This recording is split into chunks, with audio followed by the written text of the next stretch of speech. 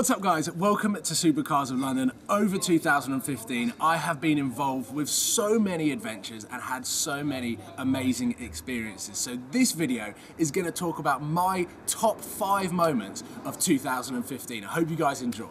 Number five on the best moments of 2015 comes in the form of me driving a two million pound Ferrari LaFerrari for sale at Prindiville. I think it's actually sold now but I actually got behind the wheel of this beast and put my foot down.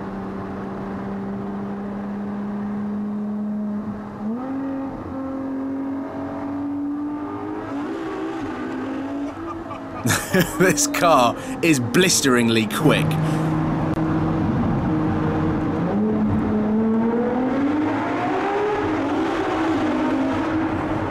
Yep, that was wheel spin through second into third. This car I drove a week after I took delivery of my Lamborghini. I thought the Lamborghini was quick. Seven days later, I got the amazing opportunity to drive the Ferrari LaFerrari. And the Lamborghini has forever felt slow compared to this. That sounds amazing. Loved this car, loved driving it. I just had to concentrate a lot when I was driving this so that I didn't scratch it in any way, shape or form because I definitely cannot pay the repair bill.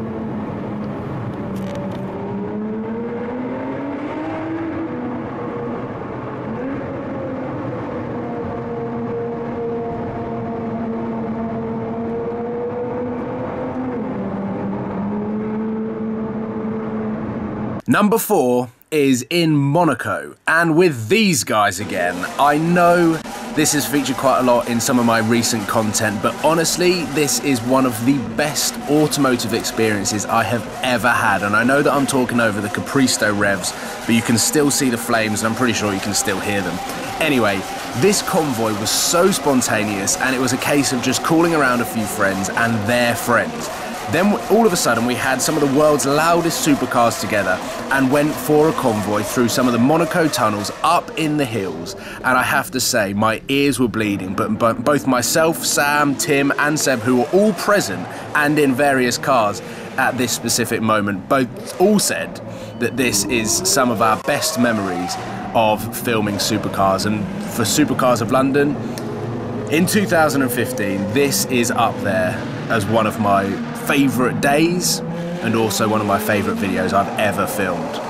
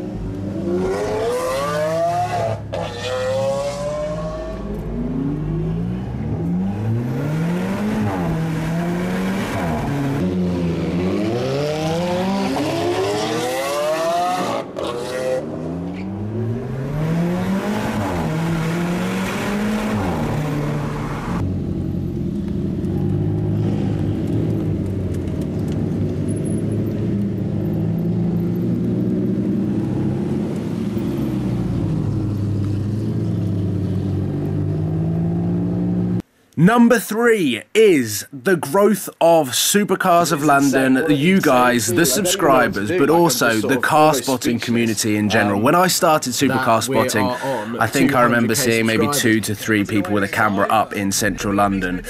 But today, like heading into central London, and right now I was feeling very nervous about doing my Periscope in front of the car spotting community. And I think one of my greatest achievements is the collaboration with the Six Tribes app. This is an app that I collaborated with last month and I created the Car Spotting Tribe. The links are in the description, so make sure that you go and check out the Six Tribes app, which is available on iPhone at the moment. Android is coming.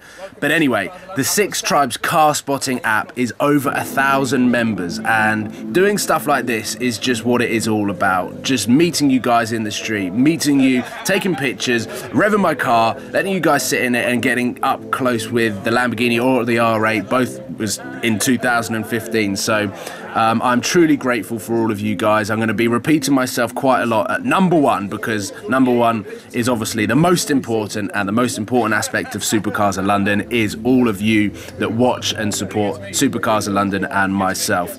This footage obviously at the moment, I was very, very overwhelmed and I couldn't believe that this was all happening.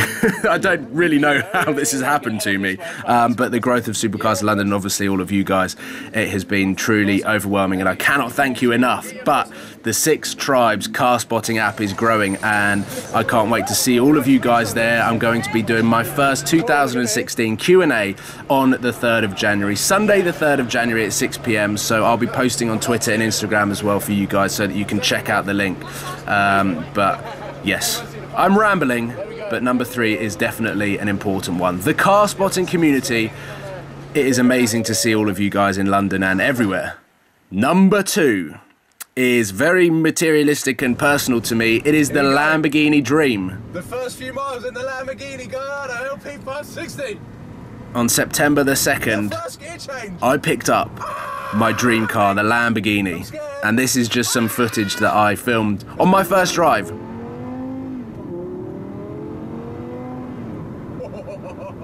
Mine. It is mine. A very, very special day for me. Like, just I don't know, like the Lamborghini has always been a dream of mine. I wanted to own one before I turned 25. And on the 2nd of September 2015, I picked up my dream car. Still 24, I turned 25 on the 19th of January. If any of you guys out there want to note down when my birthday is, but there is a bit of an emotional and motivational speech that I do whilst I drive the car right now. I suppose I could use this opportunity to to talk to you guys quickly about how dreams can come true. If you have a dream and you believe in that dream, then this is living proof that dreams come true. I started YouTube at the age of 15 years old, jumping out of trees into bushes, not really knowing what I was going to do. I had no idea what career I was going to take, whether I was going to go to university. I just went through, I did my GCSEs, I did my A levels, and then that was when I was like, I need to go to university and do business. I want to start my own business, but I still had no idea how it was going to happen. And then the bigger and the more work that I put into Supercars of London, the more hours I spent walking around London, the miles I spent, or the miles I walked in central London filming, the amount of times I went to London with gloves on my fingers, two pairs of gloves on my fingers and a coat just to film cars, to bring back some content to edit and put on Supercars of London YouTube channel. I always had the dream of owning a Lamborghini by 15, uh, by 25, or oh, by 15 would have been amazing, but I always had the dream of owning a Lamborghini before I was 25.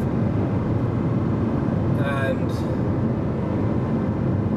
as, as much as I say somehow I've been able to do it, there has been so many hours that you guys probably don't see. I've, I've worked from 8 o'clock till 11, 12, sometimes even 1 o'clock in the morning and just to get these videos edited, made, created.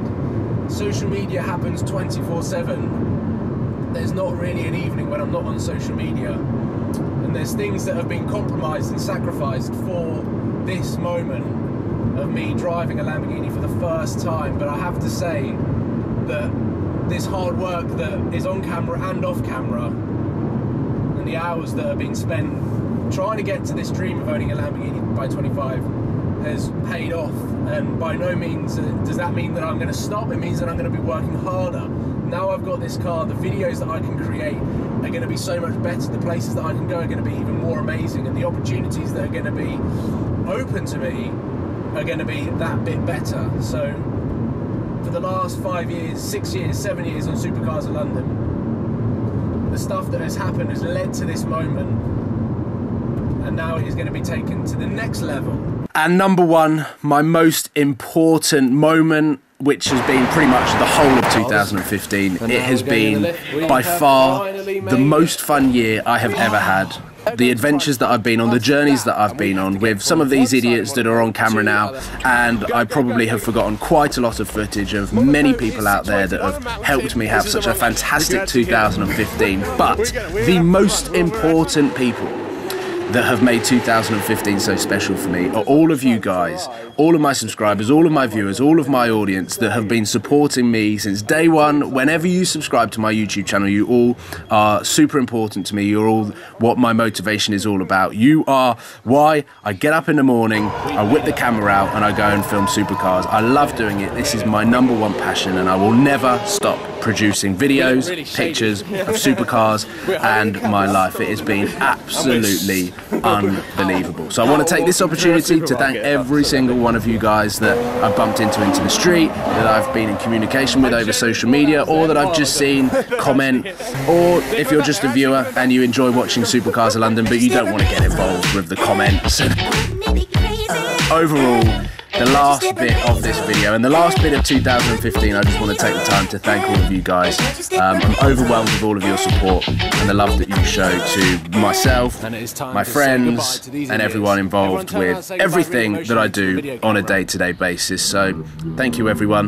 It has been a fantastic 2015 bring on 2016 it is going to be an awesome year. I don't even know what's going to happen but make sure that you subscribe if you haven't and I look forward to seeing you on the other side in 2016. So yeah, that was an update for you. I'm glad I filmed it, and uh, hopefully I'll still be alive to film some more content for you. oh, awful sign off. We're out here in the Swiss Alps, and there is not much wildlife to be seen. And By the way, that was my best impression of David Attenborough. Absolutely rubbish.